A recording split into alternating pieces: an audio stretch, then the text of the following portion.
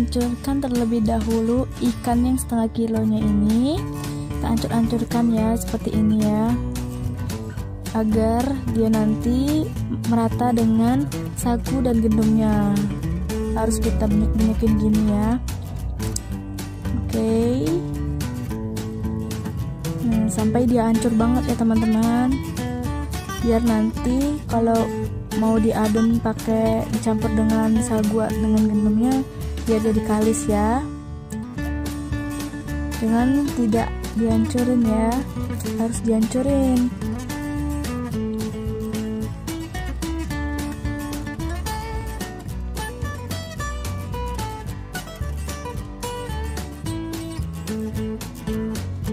Nah teman-teman itu ikannya udah hancur tuh kita tambahin air sedikit demi sedikit. Kita campurin air sambil kita aduk ya teman-teman.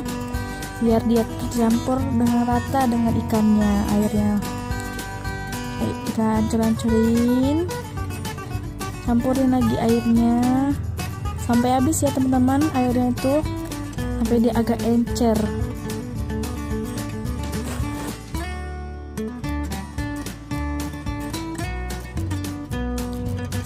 airnya udah habis itu nih lihat. Udah agak encer ya teman-teman. Kita aduk-aduk lagi. Nanti setelah kita aduk-aduk ini kita campurin dengan kita campurin dengan bawang yang udah kita iris bawang merahnya udah kita iris ya. Nah kita campur dengan daun sop. Kalau ada daun bawang juga bisa campurin dengan daun bawang ya teman-teman kita hancur-hancurin lagi kita aduk-aduk lagi pakai tangan.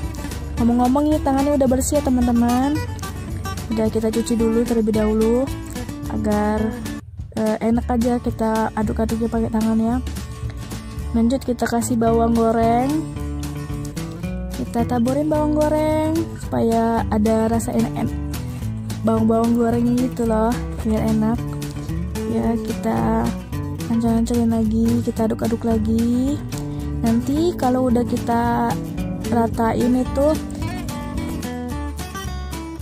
semua adonan bawang daun sop sudah tercampur dengan adonan ikannya.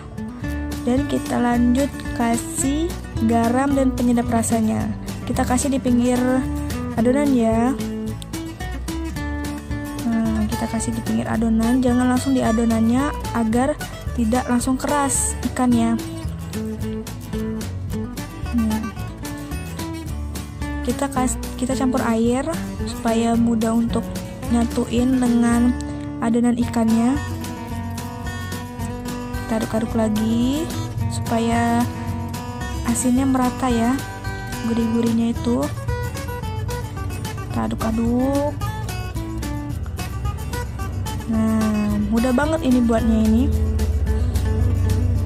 Nanti kalau udah tercampur dengan rata lanjut kita kasih sagu. Setengah kilo itu sagunya ya. Sagu, kita kasih sagu. Kita hancur-hancurin lagi kita aduk-aduk lagi teman-teman.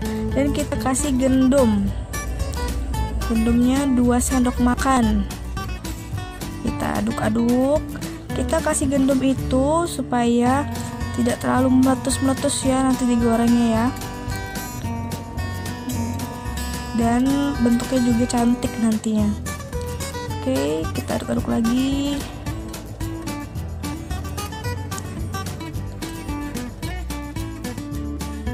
Kita aduk-aduk sampai dia merata. Mudah banget ini buatnya. Nih udah hampir merata nih dengan sagu. Dengan ini saatnya kita menggorengnya kita bulet-buletin gitu gak usah kita ukur kita bulet-buletin aja gini. Bentuknya udah cantik banget udah cocok untuk kita bisa jualan nih teman-teman. Nih oke. Okay. apinya pakai api kecil ya supaya tidak mentah tengah teman-teman. Tuh bagus banget nih. Kita bulet-buletin gitu sampai adonannya habis teman-teman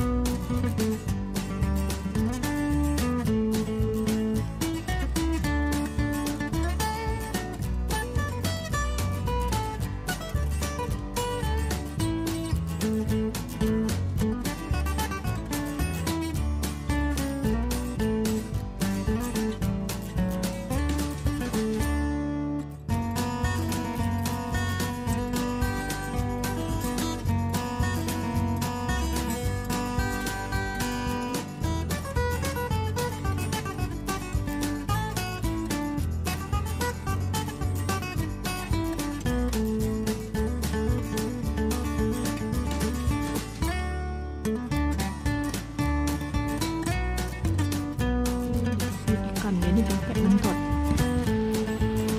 ini. Hmm, enak sekali baunya. Ini bau ikannya. Ini kalau mau lihat cara pembuatan cuka ada di uh, akhir video. video. Ada di akhir video ya di sebelah kanan. Untuk video lainnya tinggal klik aja. Oke teman-teman, terima kasih sudah menonton video kami. Jangan lupa tinggalkan like, comment, and subscribe dan share ya.